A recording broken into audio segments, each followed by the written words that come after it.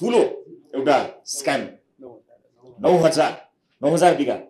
करिब नौ हजार बिघा जमिन अतिक्रमण भएको विषयलाई लिएर गृह मन्त्रालयले बिग अपरेसन सुरुवात गर्दैछ। ऐतिहासिक त अब गर्नुपर्ने छ योभन्दा अगाडि अध्ययन गर्ने कामहरू भयो बेस बनाउने कामहरू। सय दिनमा आधार तयार गर्ने बेस निर्माण गर्ने कामहरूमा हामीले बढी समय लगायौँ। कुनै त्यस्तो केस छैन जसलाई हामीले गर्न नपरोस्। कुनै त्यस्तो व्यक्ति छैन जसलाई हामीले बचाउनु परोस्। कुनै त्यस्तो नेता कुनै त्यस्तो अभियन्ता त्यस्तो कुनै अन्य कुनै व्यापारिक घरानाको व्यक्तित्व कोही कोही कसैको पनि भारी हामीले बोक्ने होइन। हामीले बोकेको भारी भनेको नेपाली जनताको भारी हो नेपाली जनताले दिएको मतको भारी हो। हस् आजको यो प्रेस ब्रिफ कार्यक्रममा उपस्थित भएका सम्पूर्ण संसारकर्मी मित्रहरू ठ्याक्कै अहिले मैले केही भन्न भन्दा इमिग्रेसनको नयाँ फोटो पनि आएछ। इमिग्रेसनको अलिकति यो केही इमिग्रेसनका धेरै गुनासोहरू आएको यहाँले थाहा पाउनुभयो हुनाले इमिग्रेसन रिफर्मको एउटा नयाँ अध्याय पनि हामीले सुरु गरेको छौँ। रिफर्म भनेको यो लुगा मात्र नयाँ होइन। यो चाहिँ युनिफर्म नयाँ लाग्यो त्यस कारण नयाँ भयो होइन। त्यो प्रणालीको सुधारका लागि पनि कमिटेड हुनुहुन्छ दिशा यहीँ हुनुहुन्छ। हामीले निरन्तर त्यसमा भिजिट पनि गरेका छौँ डेस्कहरू एड गरेका छौँ त्यस कारणले इमिग्रेसन रिफर्मको यो कार्यक्रमलाई पनि अगाडि बढाएका छौँ पक्कै पनि यसले राम्रो रूप लिन्छ भन्ने मैले विश्वास लिएको छु। र कतिपय चिज टेस्टमा छन् इ गेट पास हामीले भन्यौँ सिंहदरबार सम्भवतः आम नागरिकका लागि खुला भएको यसरी खुला भएको थिएन त्यसलाई खुला गरेका छौँ तर त्यसमा हामीले अहिले टेस्टिङ फेजमा भएका हुनाले कयौँ त्यसका समस्याहरू आउन सक्छन् त्यस कारणले यो टेस्टिङ फेजमा भएको बेलामा हामीले प्रतिक्रियाहरू लिनुपर्ने हुन्छ। त्यसै गरी गृहमन्त्रीलाई भन्नुहोस् भन्ने एप्लिकेसन हामीले सुरुवात गरेका छौँ। हामी देशैभरि हाम्रा हाम्रा मातहतका कार्यालयहरूमा यो स्टिकर टाँच्छौँ हामी। त्यो स्टिकरमा राख्न सकिनेछ। त्यसलाई अनि त्यसको क्युआर कोड उपलब्ध गराएपछि कहीँ कतै बाटोमा तपाईँले देख्नुभयो मान्नुहोस् कुनै ठाउँमा नदीको दोहन भएको देख्नुभयो भने यो त भनिदिनु पर्ने छ भन्ने लाग्यो भने जिल्ला प्रशासन कार्यालयमा भनिदिए पनि भयो। होइन यो त सिरियस छ। अझ सोझै गृहमन्त्रीको सचिवालयलाई गृहमन्त्रीलाई भन्न मन लाग्यो भने पनि हामी ठाउँ ठाउँमा त्यस्ता उपलब्ध गराइदिनेछौँ। जहाँ तपाईँले सहजै रूपमा फाइलहरू एट्याच गर्नुपर्ने हुन्छ पठाउनुहुन्छ। तपाईँलाई ट्र्याकिङ नम्बर आउँछ आफ्नो केस नम्बर पाउनुहुन्छ त्यसको फलोअप तपाईँले गर्न सक्नुहुन्छ। यसले सेवा प्रवाहलाई चुस्त पार्न र नागरिकलाई सोझै जोड्नको निमित्त मद्दत गर्छ। विपद व्यवस्थापनका लागि कमान्ड सेन्टर सुरुवात गरेका छौँ नयाँ अभ्यास गरेका छौँ। अभ्यासका क्रममा छौँ। कति सफल भइन्छ त्यो हेर्न बाँकी नै छ तर पूर्व तयारीका कयौँ कामहरू भएर कमान्ड सेन्टरले आफ्नो काम सुरुवात गरेको छ डेली अपडेट्सहरू दिन सुरु गरिएको छ।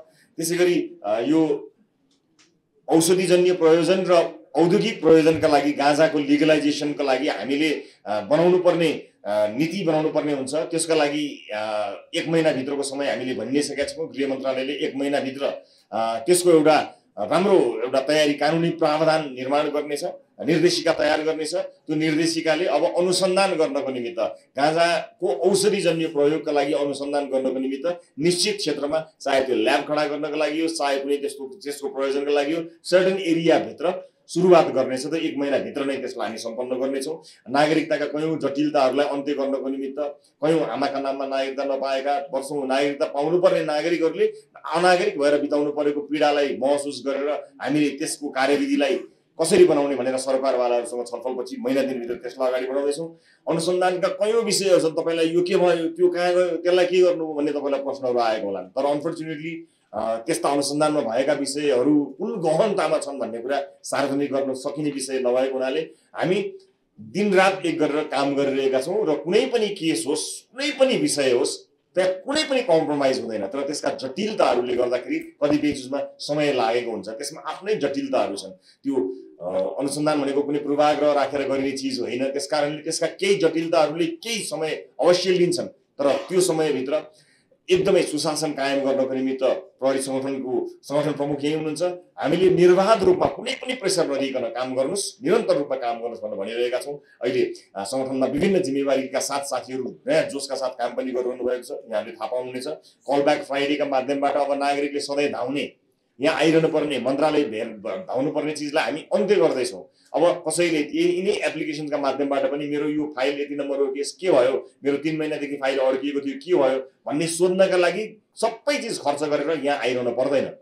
यहीँबाट कल ब्याक फ्राइडेका माध्यमबाट शुक्रबार शुक्रबार अन्य बेलामा पनि हामी नै नागरिकलाई सम्पर्क गर्छौँ र तपाईँको केस तिन महिना अगाडिदेखि तपाईँले फाइल बुझाउनु भएको थियो त्यो फाइल सदर भएको छ। कृपया आफ्नो डकुमेन्ट लिन आउनु होला भनेर हामी उहाँलाई भनिदिन्छौँ र एनआइडीसँग त यसलाई लिङ्क गरेर अन्य धेरै कामहरू गर्ने यहाँहरूलाई मैले बताइदिइहालेँ।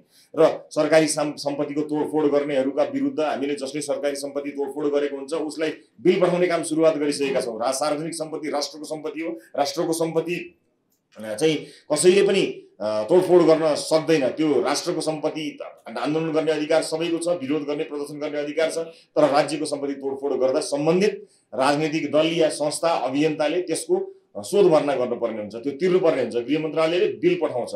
र पछि त हामी निर्वाचन आयोगलाई अनुरोध पनि गर्छौँ कि कुनै राजनीतिक दलले तोडफोड गरेको बिल तिरेको छैन भने विचार गर्नुहोस् है भनेर कानुनी रूपमा सुधार्ने कि भन्ने भाषामा पनि हामी सोचिरहेका छौँ।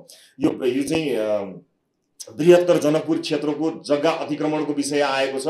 तपाईँले चाँडै थाहा पाउनुहुन्छ आज नै अब यसलाई सार्वजनिक गरिदिँदा पनि फरक पर्दैन। सजिलोले मलाई भनिदिनुहोस् न भन्नुभयो यो चाहिँ लगभग दुई हजार बिघाभन्दा बढी जग्गाको हिनामिना भएको रिपोर्ट आएको हुनाले सम्भवतः ठुलो एउटा स्क्याम। नौ हजार नौ हजार बिघा करिब नौ हजार बिघा जमिन अतिक्रमण भएको विषयलाई लिएर गृह मन्त्रालयले बिग अपरेसन सुरुवात गर्दैछ। यो जानकारी पनि तपाईँहरूलाई गराउँछु। अन्य तपाईँले मनमा लागेका के भयो कसो भयो के भयो कसो भयो भन्नै पर्दैन। हुँदैछ गर्दैछौँ। समय आएपछि तपाईँले थाहा पाउनुहुनेछ। कुनै त्यस्तो केस छैन जसलाई हामीले गर्न नपरोस्। कुनै त्यस्तो व्यक्ति छैन जसलाई हामीले बचाउनु परोस्। कुनै त्यस्तो नेता कुनै त्यस्तो अभियन्ता त्यस्तो कुनै अन्य कुनै व्यापारिक घरानाको व्यक्तित्व कोही कोही कसैको पनि भारी हामीले बोक्ने होइन। हामीले बोकेको भारी भनेको नेपाली जनताको भारी हो नेपाली जनताले दिएको मतको भारी हो। त्यस कारणले यी सबै कुराहरूलाई पनि म स्पष्ट हुन अनुरोध गर्न चाहन्छु। इमिग्रेसनका लागि मैले तपाईँहरूलाई भर्खरै भनिहालेँ लामो दूरीमा दुईजना ड्राइभरलाई अनिवार्य राख्ने लगायतका कयौँ कुराहरू छन्। म गरिसकेका भइसकेका सय दिनमा भएका स्वयं कामहरूको चाहिँ लिस्ट तपाईँहरूलाई दिएर एकदम जुवा उठाएर हेर्नुभयो त भन्ने पक्षमा म छैन। तर अब हाम्रो चुनौती अबका दिनमा गर्ने कामहरू के के हुन्छ भन्ने कुरामा हामी अझ बढी केन्द्रित छौँ। त्यस कारणले यसलाई प्रश्न उत्तरको अवस्थामा नलगिकन प्रेस ब्रिफको अवस्थामा आज यहाँ समक्ष प्रस्तुत गऱ्यौँ। हामीले जे गऱ्यौँ त्यो भयङ्कर गऱ्यौँ गजब गऱ्यौँ ऐतिहासिक गऱ्यौँ भन्ने पक्षमा म छैन।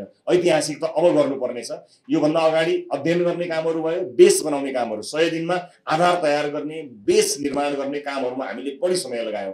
कयौँ नीतिगत कामहरू छन् जसको आम मान्छेले त्यसको प्रभाव हेर्दैनन्। आम मान्छेलाई त कसलाई समायो कसलाई थुन्यो मात्र हेर्न चाहन्छन् नि। त्यस कारणले त्योभन्दा माथि गएर हामीले कयौँ नीतिगत कयौँ कानुनी कुराहरूलाई काम गर्नुपर्ने हुन्छ जसले गर्दा जेनेरेसन टु जेनेरेसनलाई हामीले योगदान दिनुपर्ने कामहरू गर्नुपर्ने हुन्छ। ती सम्पूर्ण कामहरूमा गृह मन्त्रालयको सिङ्गो टिम काम गरिरहेको छ जसको प्रभाव यहाँहरूले देख्नुहुनेछ।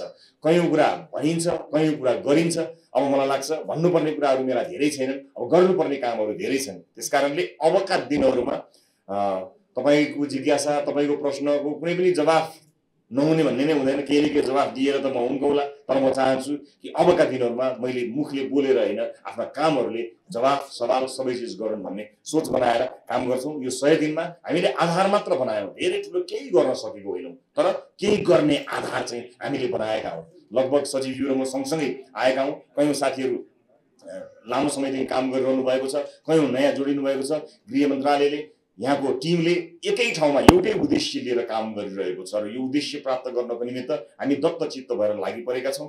यहाँहरूले निरन्तर रूपमा हाम्रा समाचारहरू हाम्रा कुराहरूलाई सार्वजनिक गरिदिएर आम नागरिकसँग पुर्याइदिएर जुन साथ सहयोग गर्नुभएको छ म आज यसै अवसरमा तपाईँहरूलाई पनि धेरै धेरै धन्यवाद ज्ञापन गर्न चाहन्छु र आगामी दिनमा तपाईँका निर्ममभन्दा निर्मम प्रश्नहरू रहन् तपाईँका विश्लेषणहरू कडाभन्दा कडा रहन्। हामीलाई प्रश्न गर्नुहोला हामीलाई चुनौतीका साथ भन्नु होला कि यो के भएको कसो भएको हामीले गरेका कामहरूमा यहाँहरूले निर्मम रूपमा आफ्ना कलमहरू आफ्ना माइक्रोफोनहरू चलाउनु होला। हामी त्यसका लागि सधैँ तत्पर छौँ यही कुरा भन्न चाहन्छु र फेरि पनि यो सहभागिताका लागि यहाँहरूलाई सञ्चारकर्मी साथीहरूलाई धन्यवाद दिन चाहन्छु र म टिम गृह देशैभरिका जति पनि साथीहरू हुनुहुन्छ जिल्ला प्रशासन कार्यालय प्रहरी कार्यालय लगायत गृह मन्त्रालय अन्तर्गतका मार्फतका सम्पूर्ण निकाय जो देशैभरि रहनुभएको छ र मन्त्रालयमा बसेर अहोरात्र खट्नुहुने आफ्नो टिमलाई यो साथ यो सद्भाव र यो मेहनतका लागि धन्यवाद ज्ञापन गर्दै पत्रकार मित्रहरूलाई उपस्थितिका लागि पनि धन्यवाद दिँदै आजको कार्यक्रम यहीँ सकिएको जानकारी गराउन चाहन्छु। धन्यवाद।